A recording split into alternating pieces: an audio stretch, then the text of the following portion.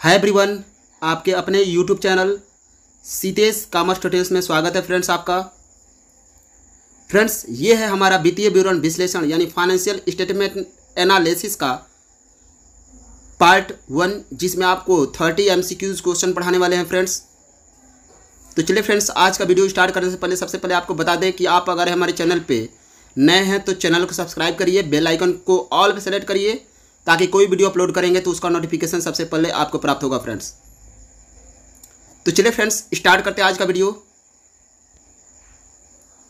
हमारा first question है, एक व्यवसायिक एक व्यवसायिक उद्गम के वित्तीय विवरण में सम्मिलित होते हैं। तो आपके सामने चार ऑप्शन है फ्रेंड्स ए, तुलन पत्र. बी, लाभ व हानि विवरण. सी रोकड़ प्रवाह विवरण डी उपरोक्त सभी। तो फ्रेंड्स आपके सामने चार ऑप्शन है। इन चारों में से कोई एक ऑप्शन सही है फ्रेंड्स तो आपको सही ऑप्शन गेस करना है। चलिए फ्रेंड्स तो सही ऑप्शन गेस करिए फ्रेंड्स आपका जो सही ऑप्शन है, वह है उपरोक्त सभी, यानी डी चलिए फ्रेंड्स नेक्स्ट क्वेश्चन देखते हैं। दो नंबर क्वेश्चन है, वित्तीय विश्लेषण हेतु प्रयोग में आने वाले सामान्य साधन हैं।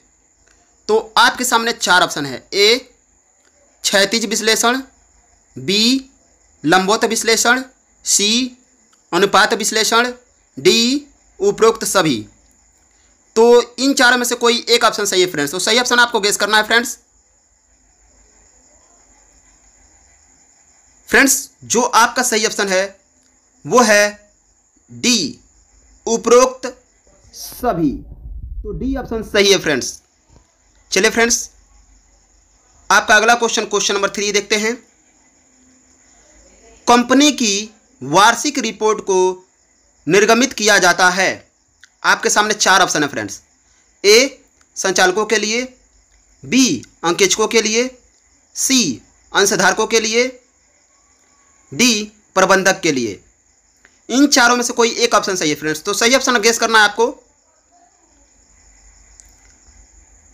फ्रेंड्स आपका जो सही ऑप्शन है वो है सी अंशधारकों के लिए. चलिए फ्रेंड्स नेक्स्ट क्वेश्चन देखते हैं. आपका अगला क्वेश्चन है क्वेश्चन नंबर फोर तुलन पत्र उद्गम की वित्तीय स्थिति संबंधी सुविधाएँ प्रस्तुत करता है. फ्रेंड्स आपको बता दें, तुलन पत्र का मतलब है आर्थिक चिट्ठा। ठीक है फ्रेंड्स आपके सामने चार ऑप्शन है। ए दी गई विशेष अवधि पर। बी विशेष अवधि के दौरान। सी विशेष अवधि के लिए। डी उपरोक्त में से कोई नहीं। तो इन चारों में से कोई एक ऑप्शन सही फ्रेंड्स तो सही ऑप्शन आपको गेस करना है फ्रेंड्स फ्रेंड्स, आपका जो सही ऑप्शन है वो है ए दी गई अवधि पर। तो चलिए फ्रेंड्स नेक्स्ट क्वेश्चन देखते हैं क्वेश्चन नंबर फाइव तुलनात्मक विवरण। तुलनात्मक विवरणों को यह भी कहते हैं। तो तुलनात्मक विवरणों को क्या कहते हैं फ्रेंड्स, देखते हैं। ए क्रियाशील विश्लेषण। बी क्षैतिज विश्लेषण। सी लंबोत विश्लेषण। डी उपरोक्त सभी। तो फ्रेंड्स इन चारों में से कोई एक ऑप्शन सही है फ्रेंड्स तो आपको सही ऑप्शन गेस करना है फ्रेंड्स फ्रेंड्स जो आपका सही ऑप्शन है वो है बी क्षैतिज विश्लेषण. यानी तुलनात्मक विवरणों को क्षैतिज विश्लेषण भी कहते हैं फ्रेंड्स तुलनात्मक विवरण मतलब आर्थिक चिट्ठा की बात हो रही है.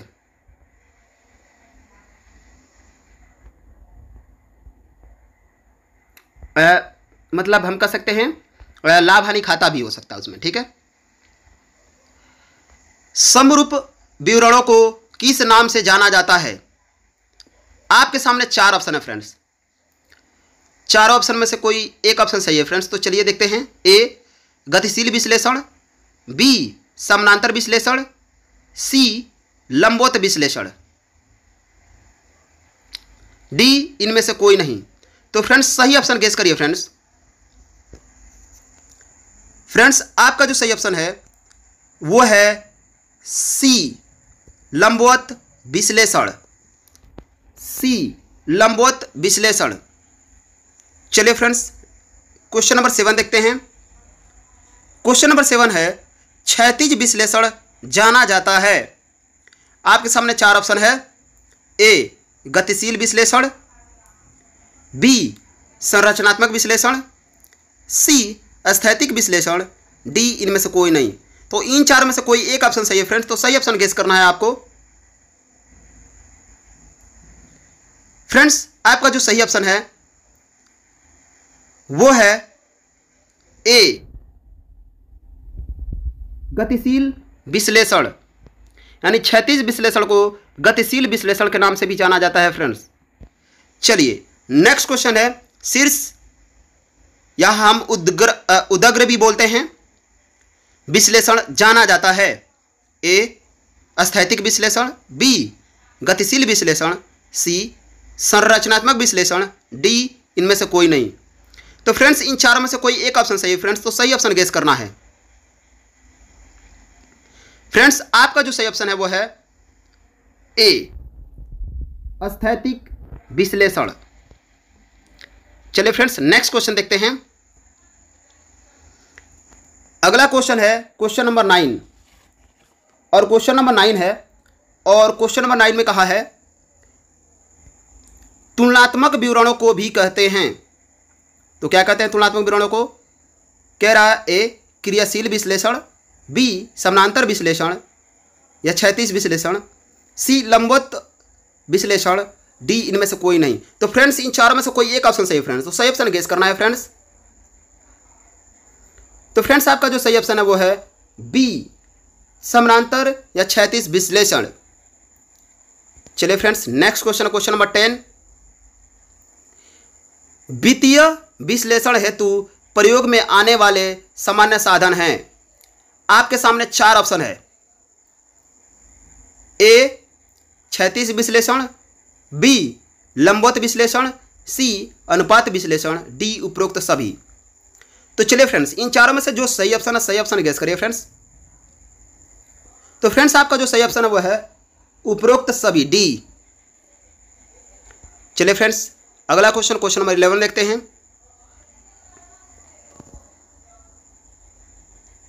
वित्तीय विवरणों के निर्वाचन में शामिल होता है।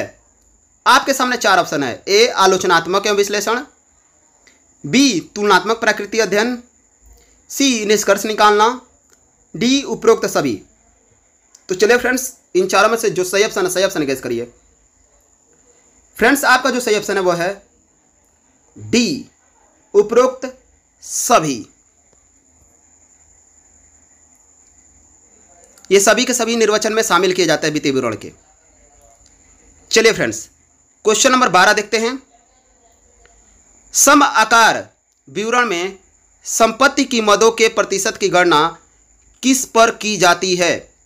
आपके सामने चार ऑप्शन है। ए, कृत्रिम संपत्ति, बी, कुल अस्थायी संपत्ति, सी, कुल चालू संपत्ति, डी, कुल संपत्ति।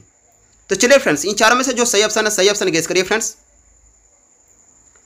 तो फ्रेंड्स, आपका जो सही ऑप्शन है वो है कुल संपत्ति, यानी डी क्वेश्चन नंबर तेरह। सम आकार विवरण में आय, मदों के प्रतिशत की गणना किस प्रकार की जाती है? आपके सामने चार ऑप्शन है। ए कुल लाभ। बी शुद्ध लाभ। सी विक्रय। डी शुद्ध आय।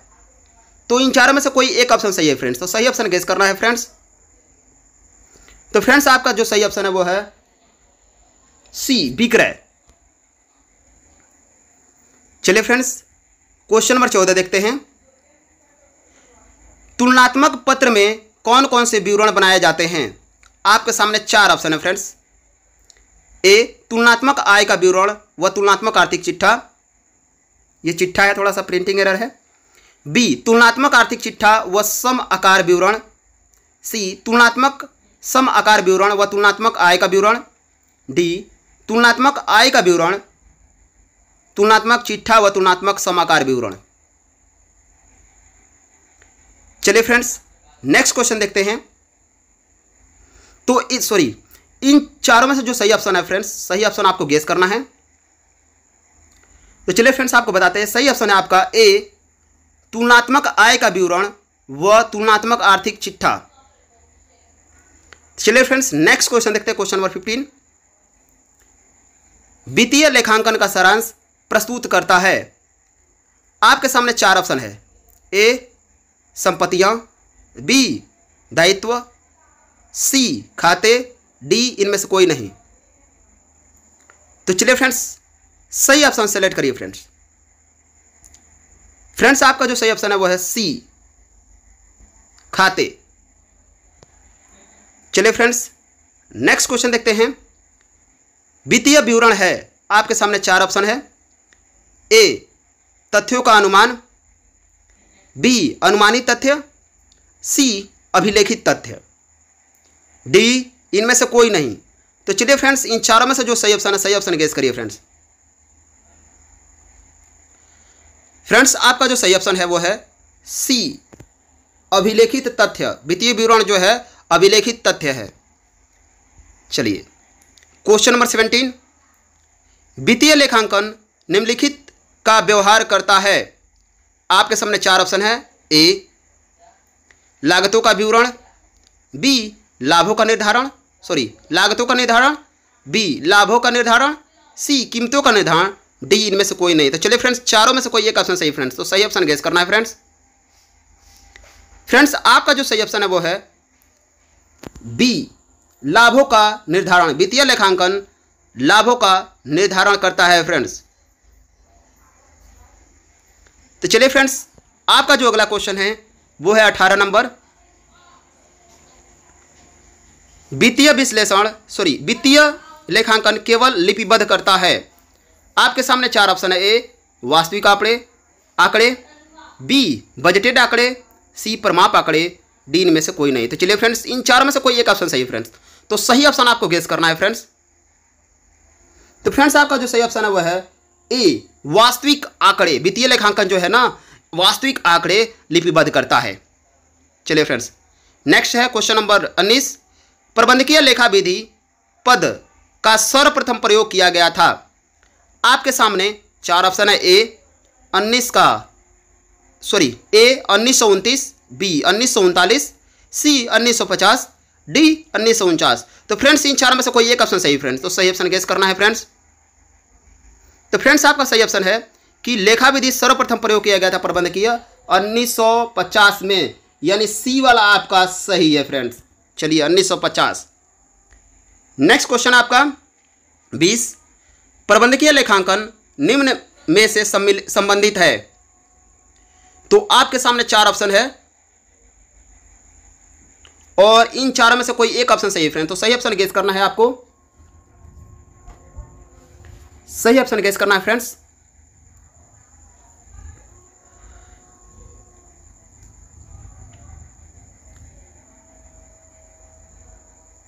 आपका जो सही ऑप्शन है फ्रेंड्स देखिए, चारों में से कोई एक। गेस करिए फ्रेंड्स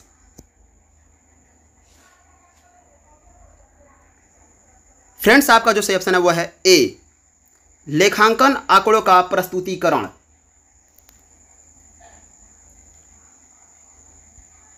चलिए फ्रेंड्स, आपका अगला क्वेश्चन है इक्कीस नंबर। वित्तीय लेखांकन का सर्वप्रथम प्रयोग किया गया था। आपके सामने चार ऑप्शन है। A, America, B, England, C, Italy, D, Bharat. तो चलिए फ्रेंड्स, इन चारों में से कोई एक ऑप्शन सही है फ्रेंड्स। तो सही ऑप्शन गेस करिए फ्रेंड्स। फ्रेंड्स, आपका जो सही ऑप्शन है वो है सी इटली। यानी लेखांकन का सर्वप्रथम प्रयोग इटली में किया गया था। बाईस नंबर क्वेश्चन है आपका। वित्तीय लेखांकन के जन्मदाता हैं। आपके सामने चार ऑप्शन है। A, Carter, B, Chakrapani, C, Lucas, Pacioli D इनमें से कोई नहीं। तो चलिए फ्रेंड्स इन चारों में से कोई एक ऑप्शन सही है। सही ऑप्शन गेस करना आपको। फ्रेंड्स जो आपका सही ऑप्शन है वो है सी ल्यूका पेसियोली आपका अगला क्वेश्चन है क्वेश्चन नंबर ट्वेंटी थ्री कौन पहले आता है? तो आपके सामने तीन ऑप्शन है ए लागत लेखांकन बी प्रबंधकीय लेखांकन, सी वित्तीय लेखांकन, डी कर लेखांकन। तो फ्रेंड्स, आपको सही ऑप्शन गेस करना है फ्रेंड्स। तो सही ऑप्शन बताइए। फ्रेंड्स, आपका जो सही ऑप्शन है वो है सी वित्तीय लेखांकन पहले आता है। चौबीस। प्रबंधकीय लेखांकन का प्रयोग है। आपके सामने चार ऑप्शन है। अनिवार्य, बी, वैधानिक, सी, वैकल्पिक। डी, इनमें से कोई नहीं। तो चलिए फ्रेंड्स, इन चारों में से कोई एक ऑप्शन सेलेक्ट करिए जो सही है। फ्रेंड्स जो आपका सही ऑप्शन है वो है सी वैकल्पिक। चलिए फ्रेंड्स नेक्स्ट क्वेश्चन आपका। पच्चीस नंबर, प्रबंधकीय लेखांकन का जन्मदाता माना जाता है। आपके सामने चार option James H Hills B Carter C Chakrapani D इनमें से कोई नहीं। तो चलिए फ्रेंड्स सही ऑप्शन गेस करना है आपको। फ्रेंड्स जो आपका सही ऑप्शन है वो है ए जेम्स एच हिल्स ने 1950 में किया था फ्रेंड्स चलिए फ्रेंड्स अगला क्वेश्चन देखते हैं क्वेश्चन नंबर ट्वेंटी सिक्स वित्तीय लेखांकन है, आपके सामने चार ऑप्शन ए कला बी विज्ञान सी कला और विज्ञान दोनों डी इनमें से कोई नहीं. तो सही ऑप्शन आपको गेस करना है फ्रेंड्स फ्रेंड्स जो सही ऑप्शन है आपका वो है सी कला और विज्ञान दोनों. प्रतिधारित और जन विवरण प्रस्तुत करता है। आपके सामने चार ऑप्शन है फ्रेंड्स ए लागतों के अनुमान. बी लाभों के अनुमान. सी लाभों का नियोजन. डी इनमें से कोई नहीं. तो फ्रेंड्स सही ऑप्शन गेस करिए फ्रेंड्स फ्रेंड्स आपका जो सही ऑप्शन है वो है सी लाभों का नियोजन. आपका अट्ठाईस नंबर क्वेश्चन है, भुनाए हुए बिलों के लिए दायित्व को कहते हैं। आपके सामने सामने जो है चार ऑप्शन है। ए, संभावित दायित्व, बी, चालू दायित्व, सी अस्थाई दायित्व, डी, इनमें से कोई नहीं। तो चलिए फ्रेंड्स, सही ऑप्शन गेस करना है फ्रेंड्स। फ्रेंड्स, जो आपका सही ऑप्शन है वो है ए, संभावित दायित्व कॉन्टिजेंसी लेबिलिटीज चलिए, उनतीस नंबर क्वेश्चन है, एक स्वाधिकार उदाहरण है। आपके सामने चार ऑप्शन है, ए, काल्पनिक संपत्ति, बी, अदृश्य संपत्ति सी, चालू संपत्ति, डी, इनमें से कोई नहीं। तो सही ऑप्शन आपको गेस करना है फ्रेंड्स तो फ्रेंड्स सही ऑप्शन है आपका अदृश्य संपत्ति बी इनटेनिजेबल एसेट्स इसको बोलते हैं फ्रेंड्स एक स्वाधिकार का मतलब होता है पेटेंट चलिए लास्ट क्वेश्चन है आज का आपका थर्टी नंबर क्वेश्चन प्रारंभिक व्यय है। आपके सामने चार ऑप्शन है। ए काल्पनिक संपत्ति बी अदृश्य संपत्ति सी दोनों में से कोई नहीं डी इनमें से कोई नहीं। तो फ्रेंड्स आपको बता दें प्रारंभिक संपत्ति जो है प्रारंभिक व्यय जो है ये काल्पनिक संपत्ति यानी फिक्टिटियस एसेट्स होता है। तो आपका जो ए नंबर है वही सही है। तो चलिए फ्रेंड्स फिर मिलते हैं अगले वीडियो में। आ, कुछ और नए क्वेश्चन के साथ। फ्रेंड्स देखिए बहुत ज़्यादा पसीना हो रहा है क्योंकि फ़ैन नहीं चला रहे हैं। फ़ैन चलाएँगे ना तो क्या होगा कि वीडियो में नॉइज़ आने लगेंगे। इसलिए। तो बहुत ज़्यादा मेहनत करना पड़ रहा है फ्रेंड्स आप लोगों के लिए। तो मैं ये कहूँगा कि हमारा मेहनत सफल हो। इसके लिए आप डेली टू डेली आप क्वेश्चन याद करें और आप अच्छा रिज़ल्ट प्राप्त करें। फ्रेंड्स फिर मिलते हैं अगले वीडियो में। Thank you.